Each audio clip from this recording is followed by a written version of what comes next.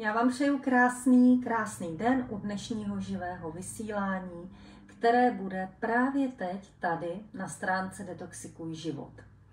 Chtěla bych eh, se dneska věnovat tématu, které může i s dnešním probíhajícím úplňkem někoho trápit a bude to o tom, proč se cítíme špatně a jak to změnit. Dala bych vám takových eh, sedm rád nebo sedm typů k zamyšlení, že pokud je nějakým způsobem eh, budete aplikovat ve vašem životě, tak se určitě mnohem rychleji dostanete k prospěšnému myšlení anebo zpátky na tu cestu, z které občas někdo sejde. Ale to všechno k tomu patří, to všechno k vědomému vytváření si života patří. Není to o tom, že člověk mávne kouzelnou hůlkou a všechno se mu daří a všechno je stabilní, ale naopak v našem životě se všechno mění, všechno se proměňuje a každý den máme možnost na sobě pracovat. A to je vlastně to gro, proč tady jsme. Ještě než bych začala s dnešním vysíláním, tak bych vám chtěla poděkovat, že se připojujete i v neděli eh, kolem poledne. Je to takový nestandardní termín, ale později, protože je úplňkový den, máme určitý rituální program, který uh, moje děti milují, takže nějakým způsobem to zkrátka později nešlo. Já jsem ráda, že jste tady právě teď. Uh, spousta z vás se ptala na křest knížky Luna z Luna 2, který jsem vám slibovala už někdy od prosince tak křest bude 1. června uh, v divadle Kampa a kmotrem bude Jára Dušek. Takže pokud chcete s námi pobít, pokud chcete na této besedě a zároveň křtu mojí knížky a zároveň představení třetího dílu Luninky, který tam proběhne a pouze tam bude možnost si tuto knížku koupit v té první vlně, pokud ji nebudete kupovat v předprodeji na mém webu, tak prvního šestý divadlo Kampa odpoledne, budeme se na vás moc těšit. Samozřejmě v divadle Kampa eh, budou prodávat i vstupenky a na jejich webu mám pocit, že budou od dubna. Takže si to hlídejte, protože na křtu Detoxikuj život a na křtu Detoxi, eh, pardon, Luny z Luna 1 eh, byla určitá část lidí, kteří byli smutní, že už nemůžou vzít přátele nebo někoho z rodiny, protože zkrátka ty lístky nebyly a ta kapacita je tam jasně daná. Takže pokud s námi chcete být, já budu šťastná a budu moc ráda, když přijdete 1. června na kampu. Ještě v rychlosti jedna informace.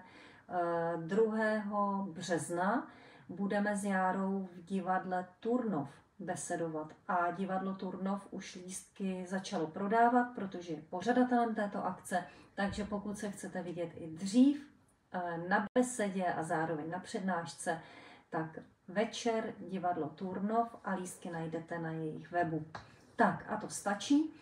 A věnovala bych se dnešnímu tématu, protože to je věc, proč tady sedím a to je věc, která mi přijde pro vás z nějakého důvodů právě dneska zásadní.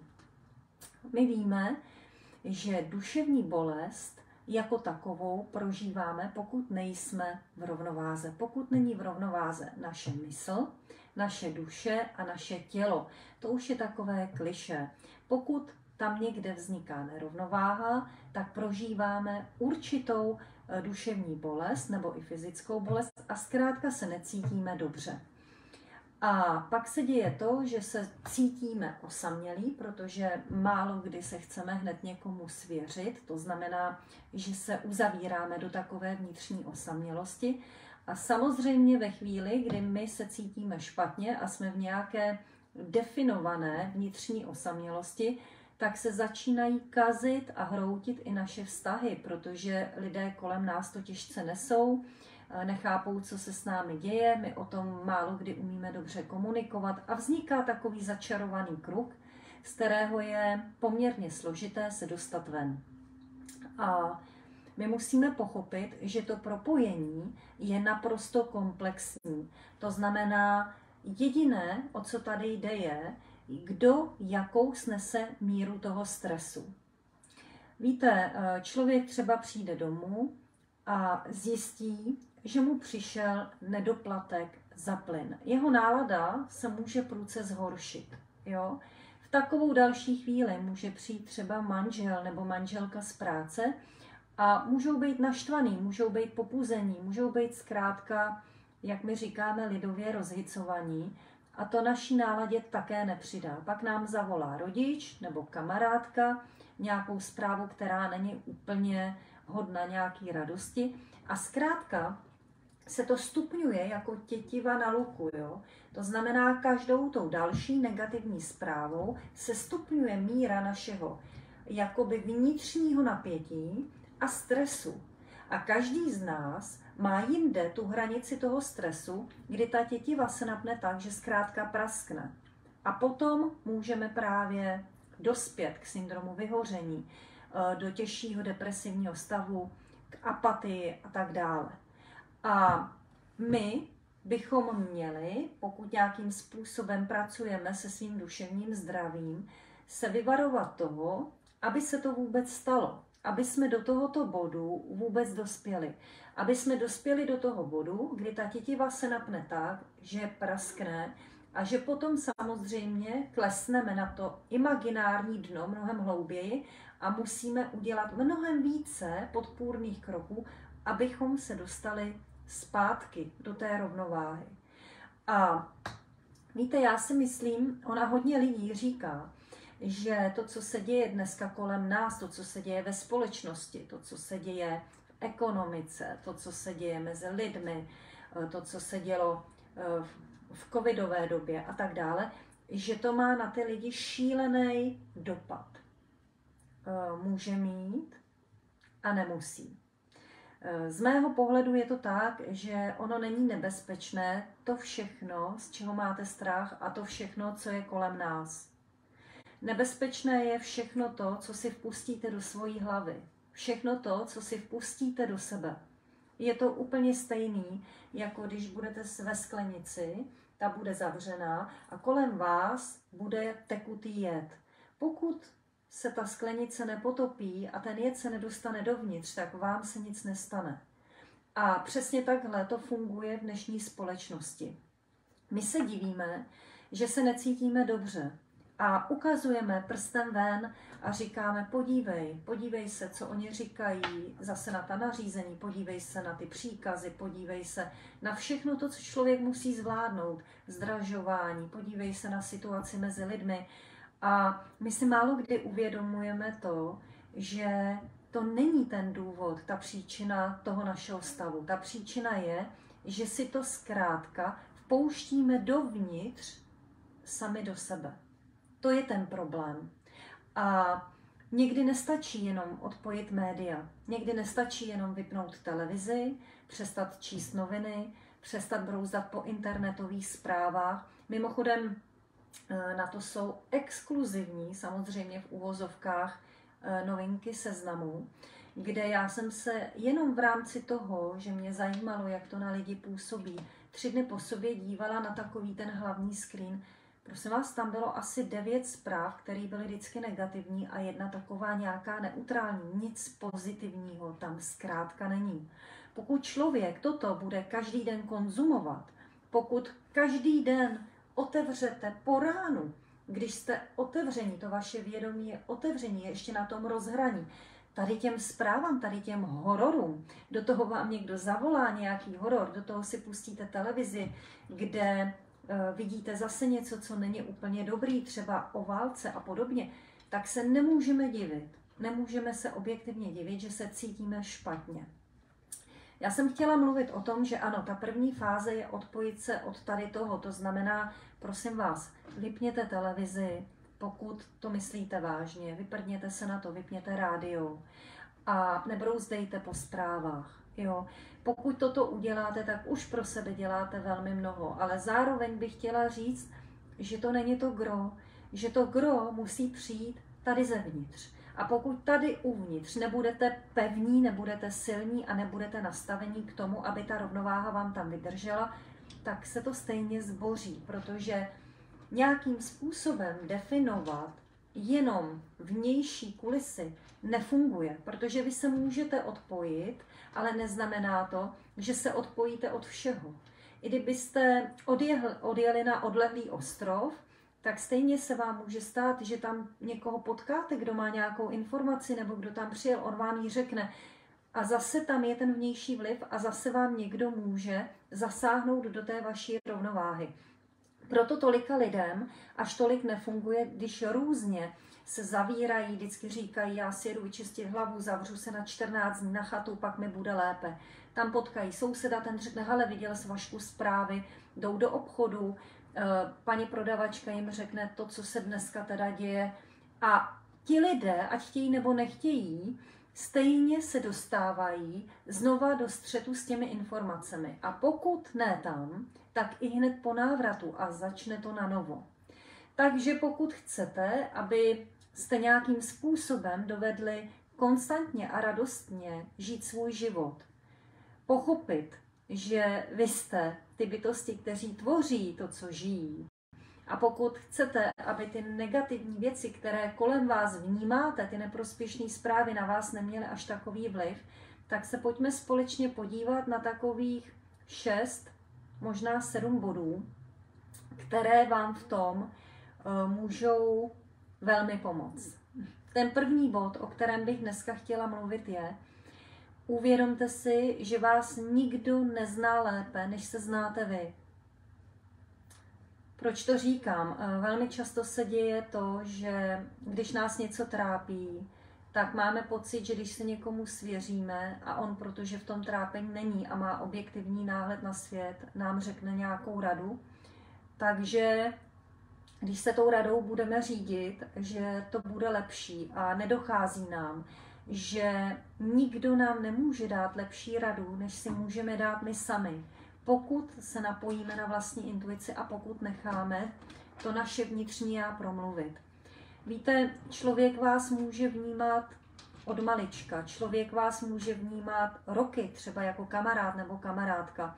Člověk vás může vnímat eh, jako soused, sousedka, ale nikdo není u vás, uvnitř. Nikdo neprožil všechny ty věci, které jste prožili vy a které vedly k tomu, co vy nyní aktuálně psychicky prožíváte. Takže ten člověk, ať vidí, co vidí, ať vidí z jeho pohledu objektivní příčiny toho, proč vy se tak cítíte, nemůže je vidět všechny, protože on nemůže naskenovat vaší duši a nemůže tudíž vám ten relevantní závěr zkrátka nikdy dát, minimálně ne bez vaší součinnosti.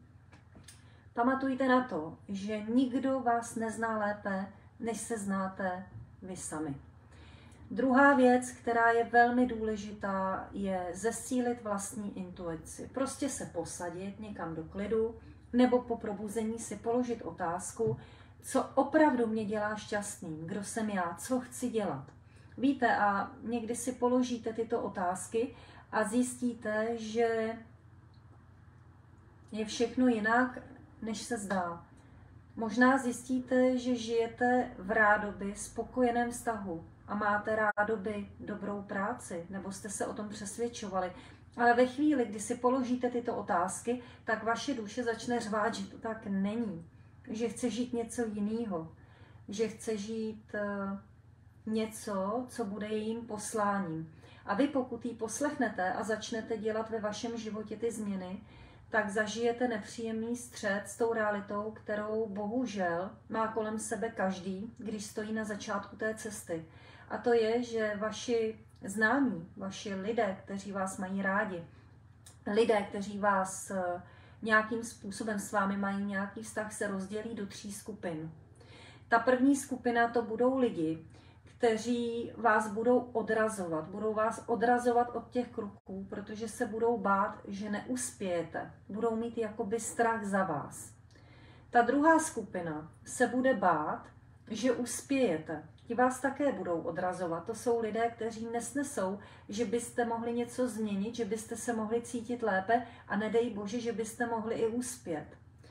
A pak je tady třetí skupina, to jsou lidé, kteří vás budou odrazovat, protože vědí, že sami na tu změnu nemají. Že se zatím nedokáží zkrátka odhodlat k té změně. A oni nechtějí na tom startovním bloku stát sami. Takže udělají cokoliv pro to, aby vám znechutili tu vaši euforii něco změnit.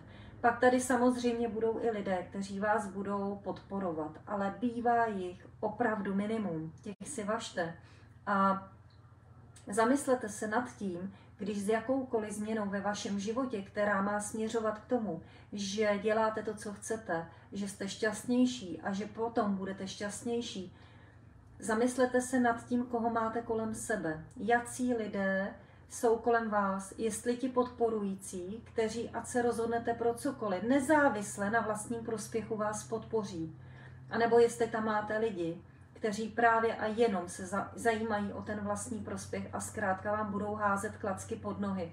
A minimálně budou chtít schladit vaše nadšení větami typu eh, takových nápadů už tady bylo, nebo takových lidí, co to zkoušeli, už tady bylo, anebo už to zkoušel třikrát a nevyšlo ti to, a tak dále, a tak dále, nebo na to si moc mladá, na to si moc starý, na to nemáš školu, na to nemáš praxi, na to nemáš zkušenost. Zkrátka, víte, lidé dokáží vymyslet mraky a mraky, mraky důvodů, proč byste něco, co jakoby vás zrovna naplňuje a co z vás září, neměli dělat. Takže ta druhá věc, o té první, která zněla, někdo vás nezná lépe, je zesilte vlastní intuici a začněte naslouchat jejímu hlasu. To znamená, poslechněte to, co vám říká. Ať už se to ostatním líbí nebo ne. Třetí věc, kterou považuji za velmi, velmi důležitou, je, že lidé často žijí v omylu, že míra jejich stresu se odvíjí od množství jejich práce. Víte, já bych to možná trochu poupravila.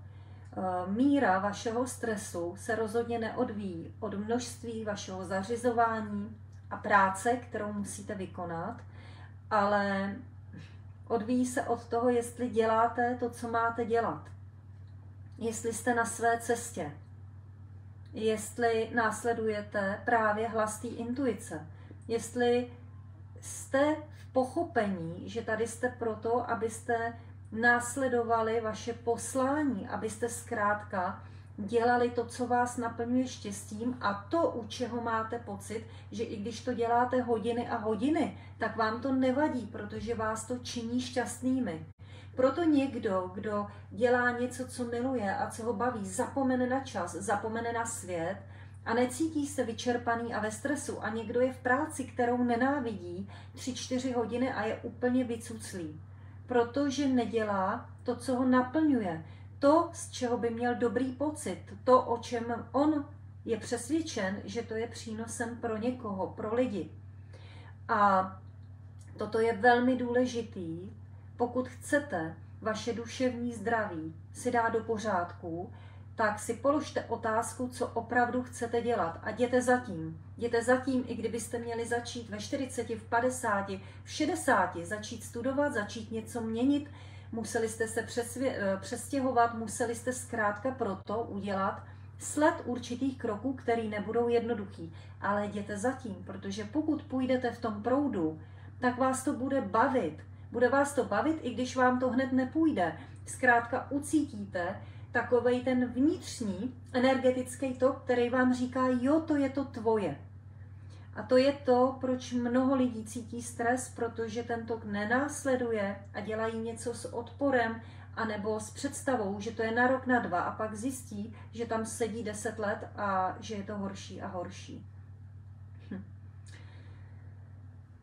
Čtvrtá věc, která z mého pohledu je velmi důležitá, je pochopení, že se nikdy to, co děláte, nebude líbit všem.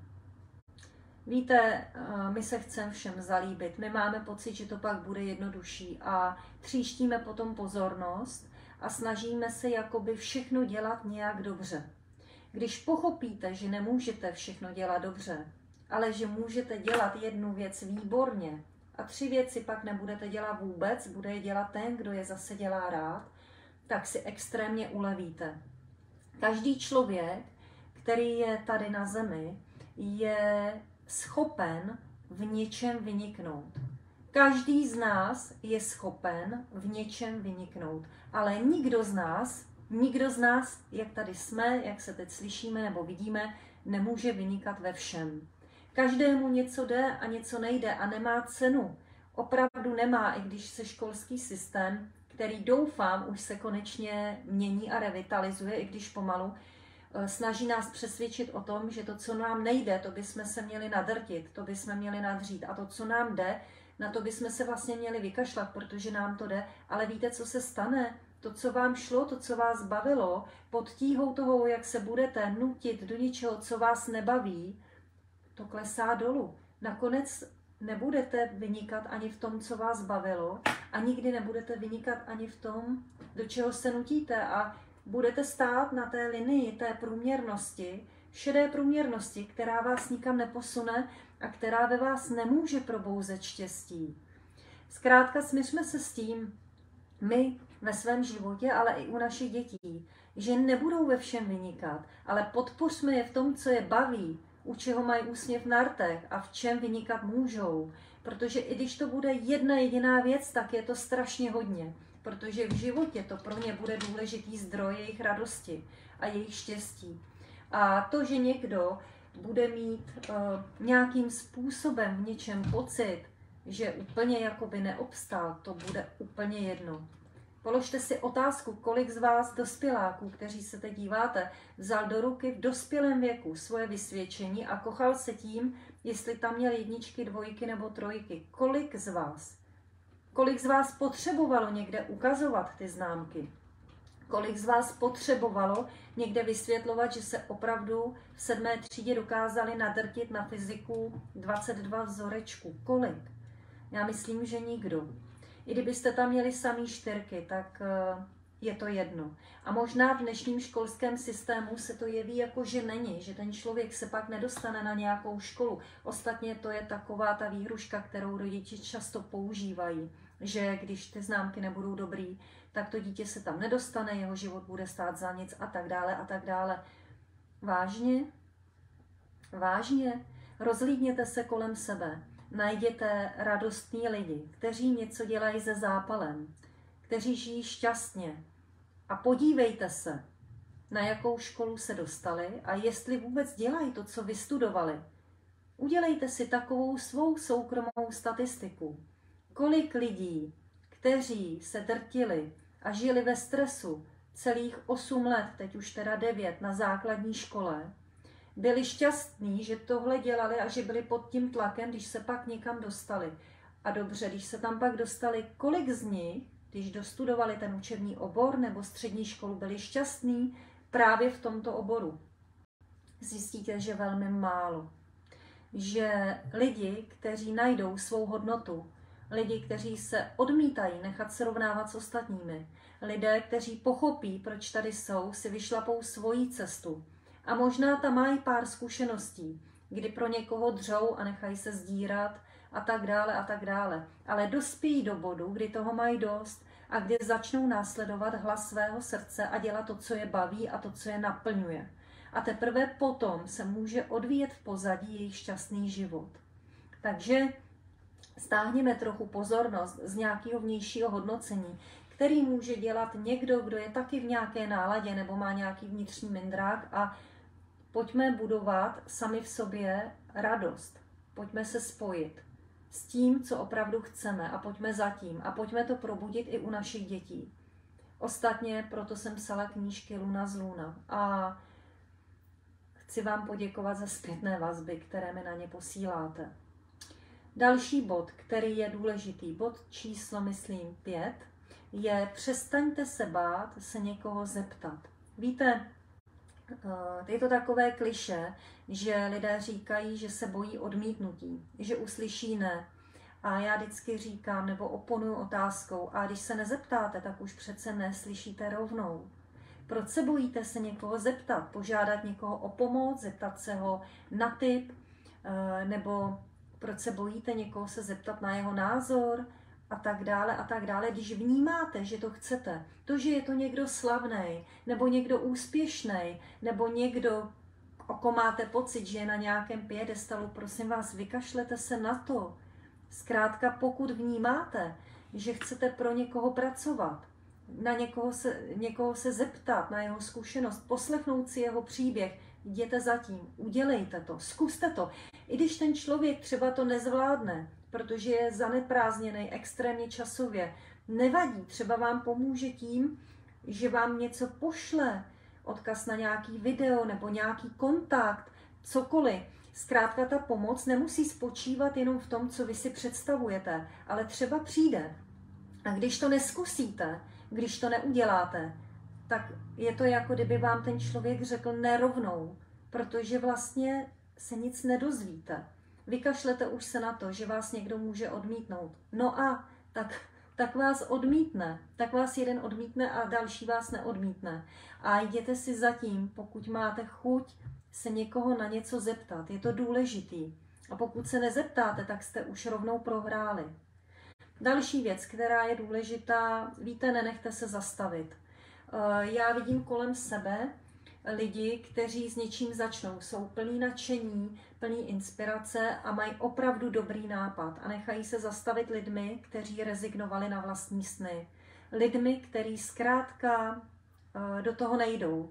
Lidmi, kteří řeknou, no když bych tomu obětoval dva roky a dělal to, to, to a to, tak radši to bude tak, jak to je. Já už jsem stejně na to zvyklý. Jenže takovýhle člověk s takovýmhle přístupem vás může zastavit, může zničit váš sen, když se necháte.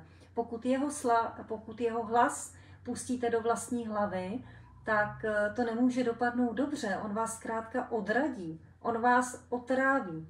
Takže přestaňte poslouchat lidi, kteří rezignovali na své sny a začněte poslouchat hlasy lidí, kteří ty sny žijí, kteří je plní, který o tom jenom nemluví, u kterých vidíte, že to tak je.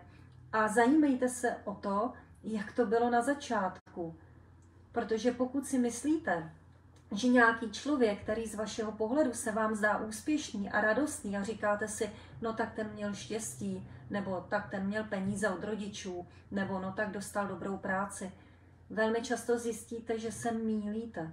Velmi často takový člověk má za sebou opravdu složitou cestu, opravdu složité dlouhé schody, kdy každý jeden schod byla další zkušenost, ale on se nevzdal. On těch schodů vylezl třeba 50 nebo 100.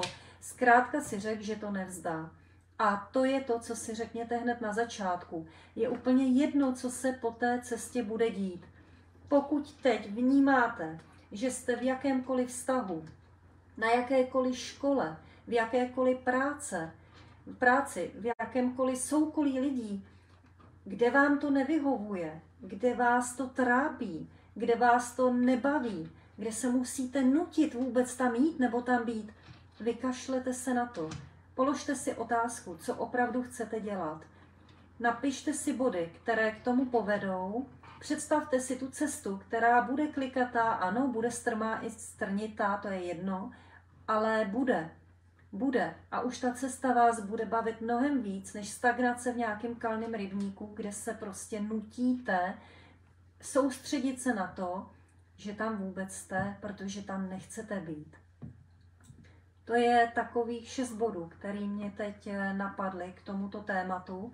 A ještě bych vám chtěla říct, že když na tu cestu vyrazíte, tak nejenom, že budete prožívat pocity štěstí a síly, protože s každou překonanou překážku budete sílit, ale zároveň budete, aniž byste to věděli, vytvářet bod 7. A ten je důležitý pro ostatní. To je vaše poselství pro ostatní. To je totiž to, že je budete inspirovat.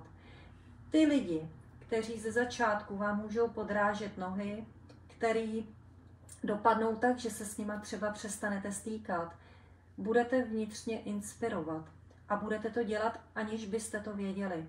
A s každým vaším dalším schodem, který zvládnete, budou třeba víc a víc naštváni. Tam dospějí, kdy jim dojde, že opravdu to jde, že jste něco dokázali, ať už to přiznají vám, nebo ne, to je jedno.